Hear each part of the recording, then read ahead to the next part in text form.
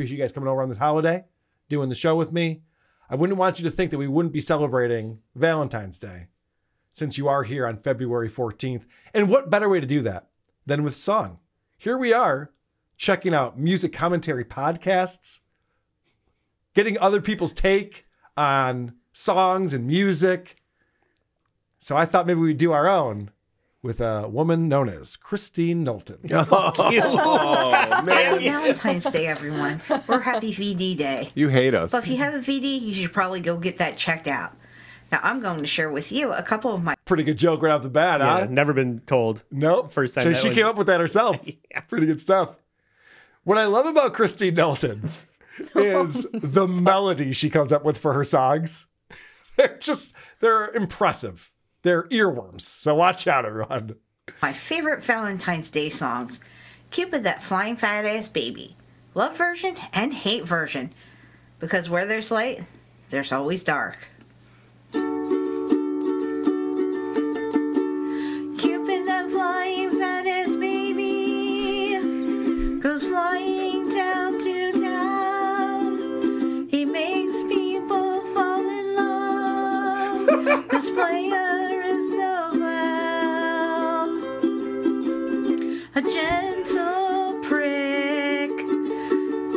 of his arrow will make you fall in love.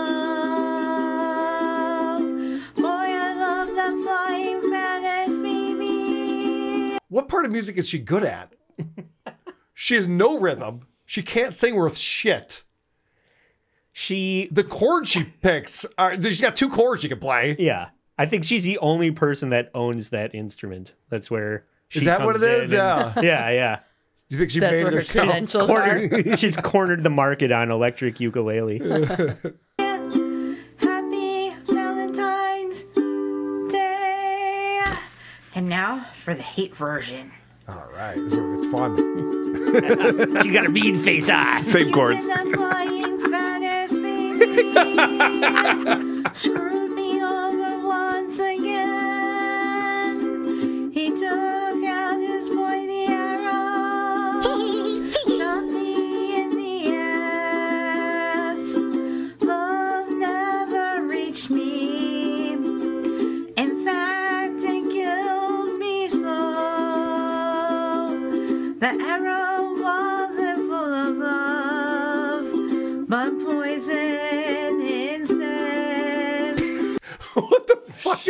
going on right now?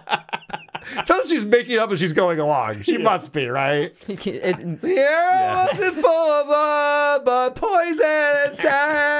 She's from the Lou Reed School of Sucking. I think this is for like people that are down on their situation on Valentine's Day, and then you watch this and you're like, "Pff, I could- that could be me. so I guess it's not so I could bad. be banging that. Is I think what the actual. No, I think is this is just to convince you to finish the job and just end it all.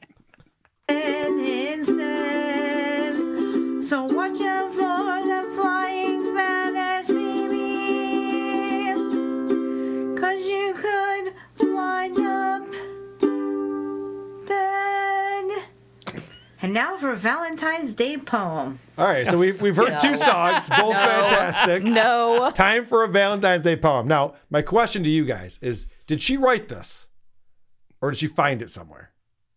I feel like I've heard this before, but I could be wrong. Well, let's see if it's funny. All right. well, it's not. Spoiler. Money was short, times were hard. Here's your fucking Valentine's Day card. 'Twas the day of Valentine's Day, and all through the house, everyone felt shitty, even the mouse. Mom at the whorehouse and Dad smoking grass. I had just settled down for a nice piece of ass. Out on the lawn, I heard such a clatter. I sprang from my piece to see what was the matter. Out on the lawn, I saw a big dick. I knew in a minute it was that Cupid named Nick. Well, he filled all our candy dishes with pretzels and beer, and a big rubber dick for my brother, the queer. All right. I'm back One, in. one joke. One joke's landed so far. what the fuck? I wasn't expecting that. All right. I think she wrote it. I'm going to say she wrote this one. She does seem proud. Yes, for sure. He rose up the chimney with a thunderous fart. That fat ass flying baby blew the chimney apart. He swore and he cursed as he flew out of sight. Piss on you all and have one hell of a night. Happy Valentine's Day. It makes sense. All right. Happy Valentine's Day, everyone. yeah. Kristine Knowlton, our favorite uh, musical comedian. I don't like poetry anymore, and if I could divorce you, I would. yeah. Podcast, W A